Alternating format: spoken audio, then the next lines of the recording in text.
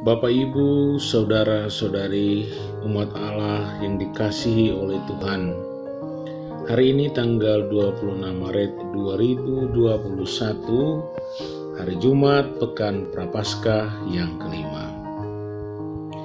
Saudara-saudari yang dicintai oleh Tuhan, dalam bacaan hari ini telah terasa bagi kita kepahitan, kesengsaraan, dan jalan duka Jumat Agung.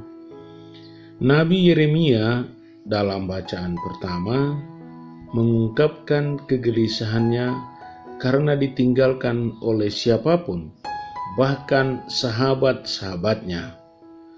Walaupun ditinggalkan oleh sahabat-sahabatnya, Nabi Yeremia tidak putus asa, sebab Nabi Yeremia yakin bahwa Tuhan pahlawan perang selalu mendampinginya. Atas nama Tuhan, Nabi Yeremia berani mengutuk lawan-lawannya agar mendapat pembalasan dari Tuhan sebab telah membebaskan para papa.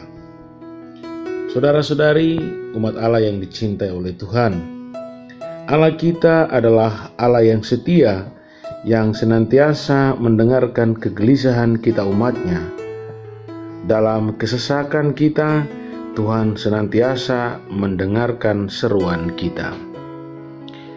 Injil hari ini menggambarkan keilahian Kristus yang ditunjukkan dalam kesatuan antara Bapa dan Putra. Pernyataan terus terang Tuhan Yesus bahwa Ia dan Bapa adalah satu membuat orang-orang Yahudi berang dan melempari Tuhan Yesus dengan batu. Bagi orang-orang Yahudi, ucapan Yesus ini menghujat Allah karena dia menganggap dirinya setara dengan Allah. Saudara-saudari yang dicintai Tuhan, Yesus sebagai anak Allah dapat dibuktikan kebenarannya melalui pekerjaan yang dilakukannya. Karya Kristus adalah melakukan pekerjaan Bapa. Tindakan ini menyatakan kesatuan kehendak dan kesatuan misi Yesus dengan kehendak dan misi Bapa. Dan karya agung Yesus adalah kematiannya di kayu salib untuk menggenapkan misi penyelamatan Allah itu. Bapak Ibu, umat Allah, sebagai pengikut Kristus, kita harus menjadi saksi keilahian Tuhan Yesus.